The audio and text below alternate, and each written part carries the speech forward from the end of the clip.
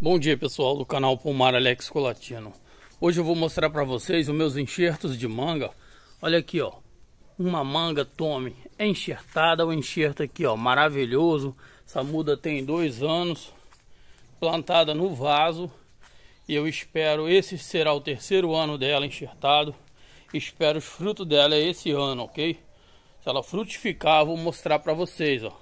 Recomendo plantar num galão desse ó no mínimo de 50, 60 litros para quem for plantar frutíferas do porte de manga, é pocã, esses tipos de, de frutífera que podem ser produzidas no vaso, ok?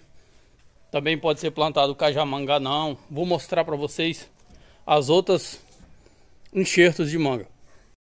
Bom pessoal, esse é um pé de manga espada plantado há 4 anos, ó. Nunca produziu já está com 5 metros de altura. Eu vou mostrar para vocês o enxerto que eu fiz, ó. Dentro de 1 um a 2 anos, em média 2 anos, ele vai frutificar. Olha aí, ó. Cortei, ele tinha dois galhos, cortei, tentei alguns aqui, mas entrou água e o enxerto morreu. E esse aqui estava protegido, com plástico melhor, e esses enxertos pegaram. Olha aí, são dois enxertos que pegou dois enxertos, um aqui e outro aqui, bem vigorosos. E agora essa planta é garantia. Eu fiz enxerto de manga espada, porque esse, esse pé é um pé de manga espada. Olha aí a altura dele, ó. Nunca produziu com 5 metros de altura. Mas agora nesse galho é garantido que ele produza. breve eu vou fazer outros enxertos nesse outro galho. Assim como eu tenho um outro lá dentro que eu vou mostrar agora para vocês. Ok, pessoal? Bom, pessoal, e a cereja do bolo é esse aqui, ó. Olha o tamanho desses enxertos com dois anos feitos. Esse é um pé de manga tome. Que eu já enxertei manga Ubá Carlotinha. Esse galho aqui é Ubá Carlotinha. Olha o enxerto aí, ó. Perfeito. Galho já grosso, ó. Comparado à minha mão. E esse aqui é uma manga espada. Ok, pessoal? Também um enxerto perfeito aí, ó. Vou estar tá retirando aqui.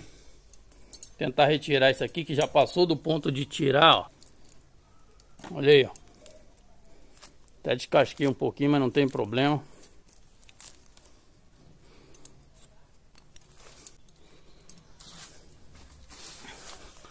Olha esse enxerto, totalmente cicatrizado. Ok, pessoal? Olha aí, enxerto. Aqui foi um enxerto feito por cunha, numa muda já grande que produzi.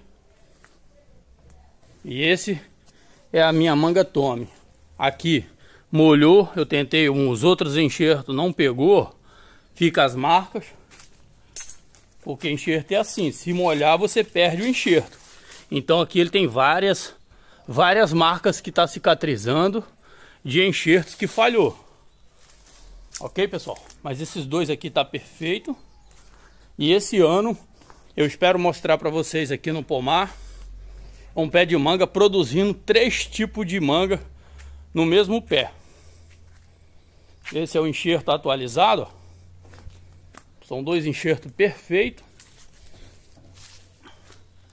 A todos, muito obrigado. Até o próximo vídeo, se Deus quiser. Breve eu vou estar explicando outras formas de fazer enxerto para vocês terem sucesso. E aguardem, aguardem o final do ano que a gente vai ter manga nesses galhos enxertados. Porque esse enxerto tem dois anos. É a época dele florescer e frutificar. Então vamos ter três tipos de manga no mesmo pé, ok pessoal? Muito obrigado.